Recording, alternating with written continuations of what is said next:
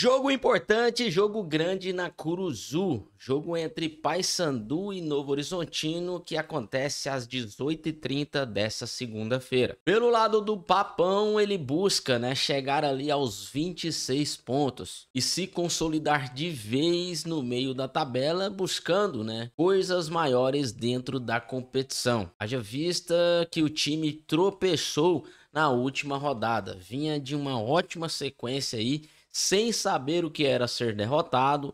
Mas aí, contra o Brusque, eu ainda avisei aqui no vídeo que eu fiz. Gente, o grande algoz né, do time do Paysandu aí é o Luizinho Vieira, né?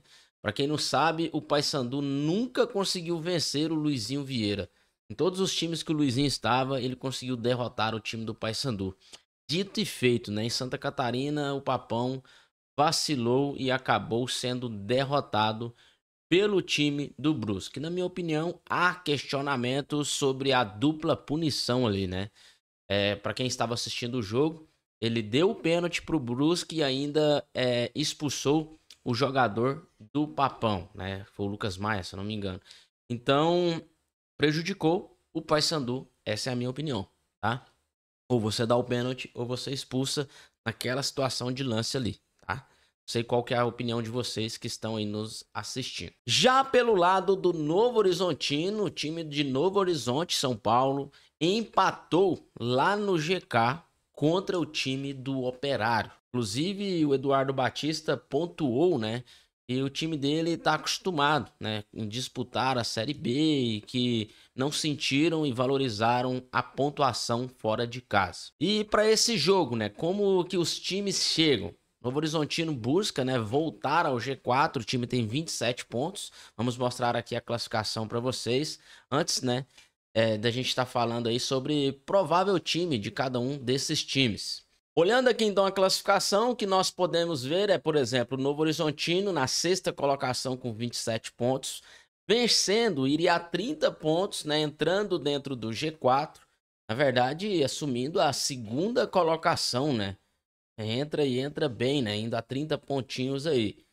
Missão fácil? De jeito nenhum. O time do Paysandu dentro da Curuzu é muito forte. Então não é uma missão fácil para o time do Novo Horizontino. O Paysandu não perde dentro da Curuzu desde julho de 2023. E o time do Paysandu está aqui com 23 pontos, vencendo, se consolida, né, na primeira parte da tabela da Série B. Poderíamos estar falando aqui, inclusive, assim, ó. Poxa, se o Paysandu vencer, ele entra no G4. Mas o Papão tropeçou, né, diante do Brusque, né, e aí agora o Papão joga mais uma partida para retomar os caminhos da vitória. Inclusive vencendo, é o que eu falei para vocês. Chega aqui então a turma do sétimo, oitava colocação aqui, ó. É, só não ultrapassa o Ceará e o Operário devido à quantidade de vitórias, que é o primeiro critério de desempate. Beleza? Como que esses times chegam a essa partida, né? O time do Paysandu vem da derrota para o Brusque, e mas e a formação e a escalação? Como que eles devem entrar em campo? Pelo que eu olhei, pelo que eu estudei, pelo que eu pesquisei, né? O time do Paysandu deve ter é, duas alterações até aqui. O Lucas Maia, né, que foi expulso, não pode jogar, tá suspenso, deve dar lugar ao Carlão. E no ataque, o Nicolas não deve ter condição de jogo. Ele saiu aos 20 e poucos minutos na última partida contra o Brusque. Inclusive, foi algo aí muito questionado né, pela imprensa, porque o, o Hélio dos Anjos acabou colocando o Biel para fazer a função né, de referência no ataque sendo que ele é um meia de criação, e aí, ao ser perguntado sobre essa situação, ele disse que o Biel é o que vinha cumprindo né, melhor a função nos treinamentos. Vale lembrar que o Paysandu não tem né, um atacante de referência. Até tem, mas é, tá lesionado, que é o Juan Ribeiro, né, que já foi artilheiro da Copa São Paulo, jogou pelo Palmeiras, ele está lesionado neste momento. Inclusive chegou a atuar no Paysandu em alguns jogos pela ponta, né? Mas lá, na, lá, no, lá no Palmeiras, ele atuava como jogador centralizado de referência, tá? Mas Ah, e tinha também o Gabriel Santos, que chegou a jogar a Série B aí, sete ou oito partidas, mas muito abaixo do esperado, tanto, tanto pela equipe técnica e também pelo, pela torcida do Paysandu, né? O Gabriel Santos muito abaixo, acabou sendo aí dispensado. Então o Paysandu tem essa carência, né? Eu inclusive já pontuei algumas vezes que precisava trazer um cara que soubesse fazer gol, se o esquema do Hélio dos Anjos fosse jogar de fato com um jogador referência, que com certeza vai, por ter o Nicolas, né? O Nicolas é um, um grande centroavante aí do futebol brasileiro. Então precisaria sim de uma sombra para o Nicolas, até para não perder a forma de esquema, de sistema de jogo e tal. E chegou esse momento, né? O Nicolas que já fez aí 37 partidas esse ano. O Nicolas tem mais de 20 gols, né? Mas sentiu né? e pode não estar nessa partida contra o Novo Horizontino. E quem vai cumprir essa missão? Quem? Não tem, gente. Não tem. Então deve vir aí ou uma invenção, né? Que é um caso, por exemplo, de um Biel na posição que aconteceu no jogo passado, um exemplo, né? Ou então deve pegar algum desses pontas com a força física né, um pouco mais elevada, ou se algum momento algum desses pontas já fizeram essa função, deve ser quem vai cumprir a função de centroavante ali na frente. Ou né, o, o Hélio dos Anjos abandona um pouquinho o esquema e muda, né, coloca alguém para é, centralizar um pouco mais, entrar pelo meio do campo ali, sem ser aquele cara fixo centralizado a lá Nicolas, e muda um pouquinho a forma de jogar. Tá? É o que eu acredito que pode ser feito, né? Um, um, um atacante mais centralizado, voltando um pouco mais. Talvez, quem sabe, quem cumpra essa função aí, o, o Paulinho Boia, né? Talvez dê para ele fazer essa função. Você coloca o Jean Dias de um lado e Wesley Garcia do outro. Talvez dê sim para executar a missão, vamos dizer assim, dessa forma. Então vamos ver aí o que, que nós vamos ter para esse jogo. Quero trazer a notícia do Paysandu também aqui para o torcedor do Papão que sempre nos prestigia e nos assiste. Tivemos aí quatro renovações importantes, né, já no Paysandu. O Lucas Maia, que já é um pouco antiga essa renovação, o Edilson Diogo Silva e agora por último, sexta-feira, o Jefferson Quintana, o zagueirão, renovou até o fim de 2025 com o Paysandu.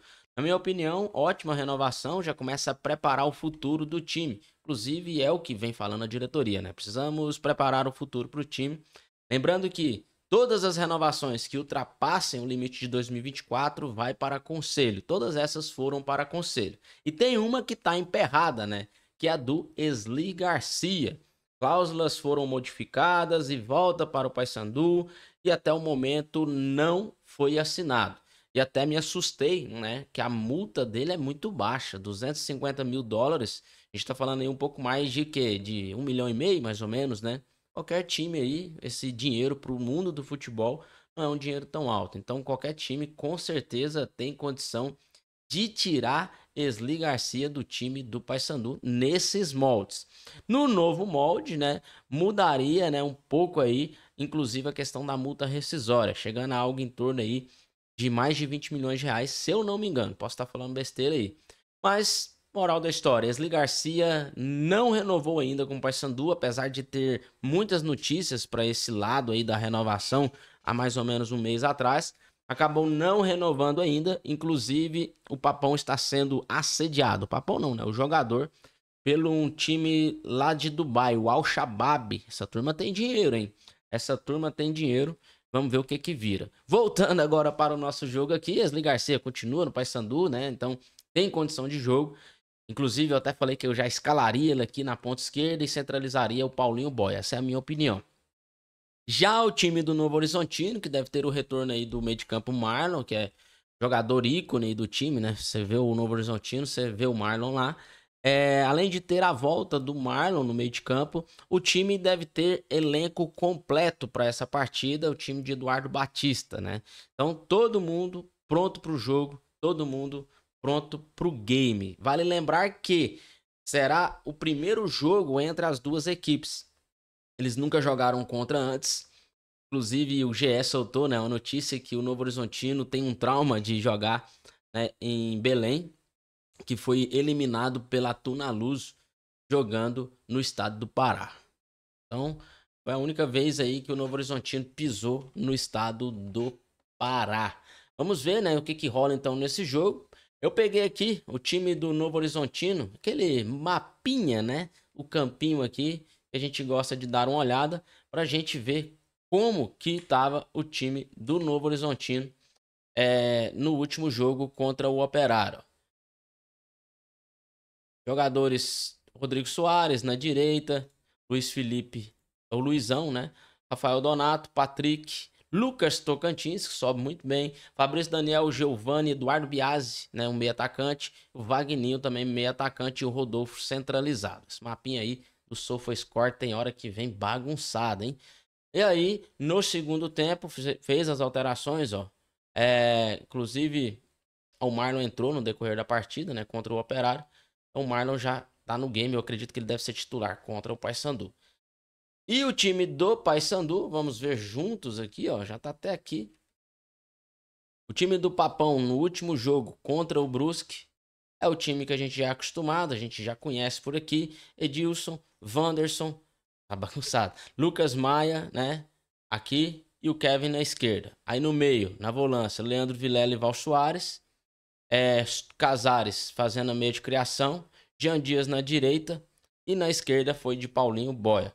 Então o que eu mudaria aqui, no lugar do Lucas Maia, o que parece, é, vai o Carlão, tá? No lugar do Lucas Maia vai o Carlão. E no lugar do Nicolas, de fato ele não estiver pronto para essa partida, eu centralizaria o Paulinho Boia, tá? Não sei vocês aí, deem a sua opinião aí nos comentários, tá bom? Partida importantíssima. Você que já está aqui no nosso canal, tô que tô fazendo os pós-jogos, né? Então, sempre dê aquela conferida aqui no nosso canal. Não deixem de curtir o nosso canal, se inscrever e ativar o sininho para estar por dentro de todos os nossos conteúdos. Eu me chamo Fernando Bastos e aqui nós falamos sobre a Série B do futebol brasileiro. Um abração, torcida do Papão, e um abração para a torcida do Novo Horizontino. Inclusive, para a torcida do Papão, fiz o um material com a camisa do Papão. Tamo junto e até a próxima.